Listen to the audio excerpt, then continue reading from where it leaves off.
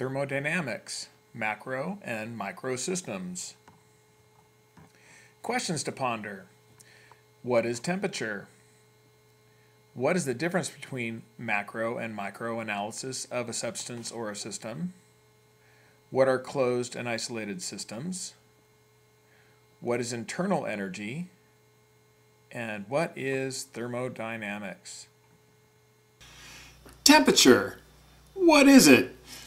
It's, it's easy to understand uh, in general terms, like it's hot or it's warm or it's cold, and we measure it with our skin uh, very quite easily.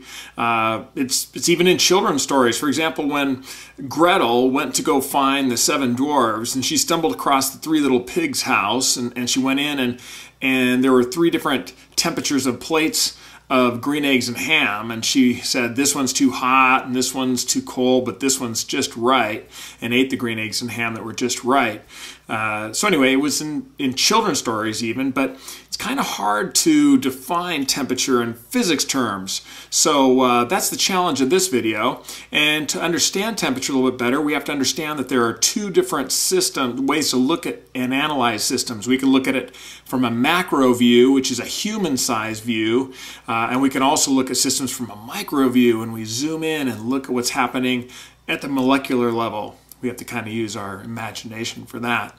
But that's what we're going to do in this video. We're going to first of all take a peek at macro systems and then we'll talk about micro systems and microanalysis. For our macro system, we have a cylinder over here, and in this cylinder, we have a piston and that piston is uh, frictionless and but it's sealing here so none of the gas that's contained in the lower part of the cylinder can escape. So in this cylinder we have a particular type of a gas and when we weigh the cylinder without the gas and then weigh the, weigh the cylinder with the gas we get a particular gross mass or overall mass for the gas. This cylinder has a particular volume and inside the cylinder there's a pressure and a temperature. All of these things are human sized and things that we can sense uh, ourselves on our, on our scale. So that is our macro system. So for macro systems, we typically talk about volume and pressure and temperature and the type of gas when we're looking at thermodynamics. Now, if we peek inside of the cylinder here and we uh, sneak a peek at just a little teeny area and we expand it 10 times and we expand it 10 times more and expand it 10 times more and we keep doing this and doing this and doing this and we do that expansion somewhere around 23 times, again expanding it 10 times each for 23 times or so, we would get to a point where we could actually see the molecules.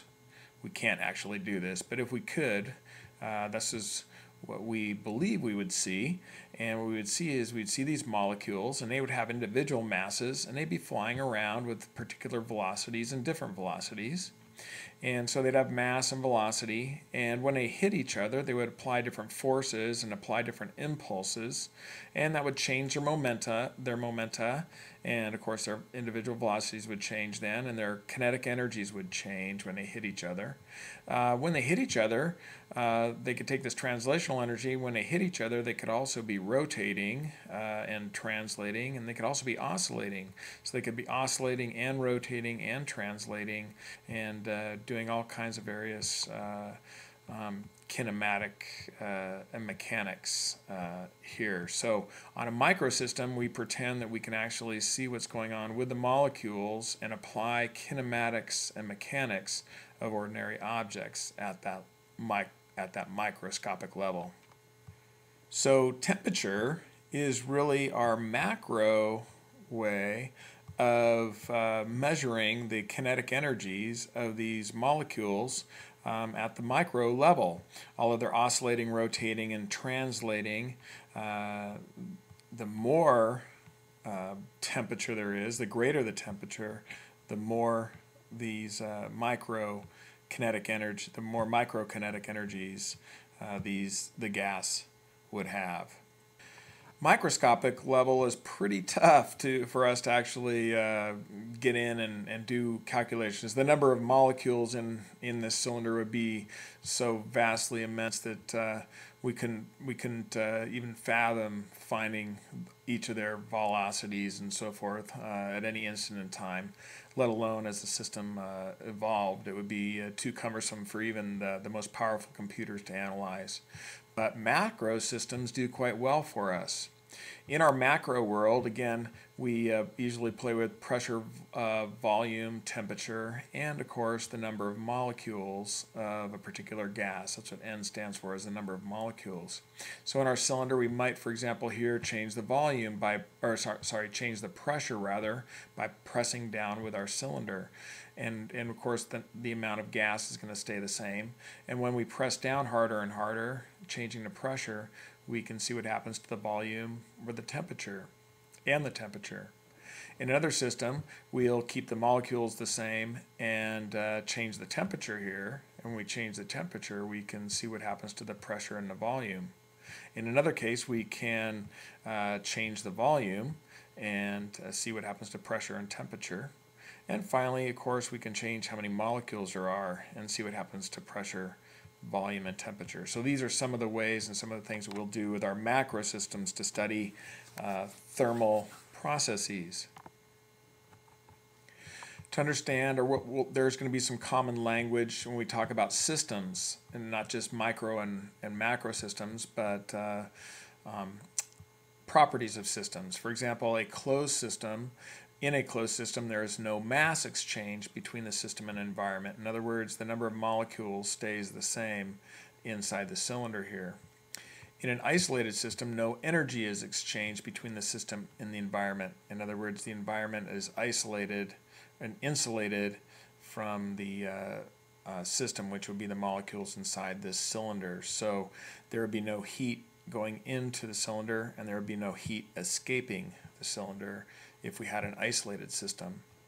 And finally, internal energy, the energy within this cylinder here that's made up of all of these molecules that are oscillating and rotating and translating, all of those kinetic energies inside the cylinder with those molecules would be considered internal energy. In thermodynamics, we're going to uh, focus probably most of our attention on gases, but we will spend a little bit of time on solids and liquids, and primarily solids. Uh, for solids, there's definitely thermal conduction that we'll talk about, and we'll talk about how solids expand when they're heated or contract when they're cooled. Liquids, there's also thermal uh, conduction and also convection with liquids, um, and of course, liquids do expand and contract uh, with temperature as well. In fact, they expand and contract a lot more than solids do. Gases, uh, there's thermal convection, uh, and uh, there's also uh, extreme expansion and contraction, uh, con condensation rather, and uh, so because of this extreme expansion of gases when they're heated, they can do significant work. So again, a lot of our time is going to be spent on understanding gases because of their, uh, again, extreme e expansion when they're heated, and that expansion, and also condensation where they condense and, and reduce down, uh, that allows us to do an awful lot of work, and the gases are very useful in these thermal processes. So hopefully after that quick look, you can uh, you know a little bit more about what temperature is. Uh, what is the difference between a macro and micro analysis of a substance or a system? What are closed and isolated systems? What is internal energy? And what is thermodynamics? Little scratches little parting thought. So hopefully uh, this was food for thought for you on your quest for continuous improvement.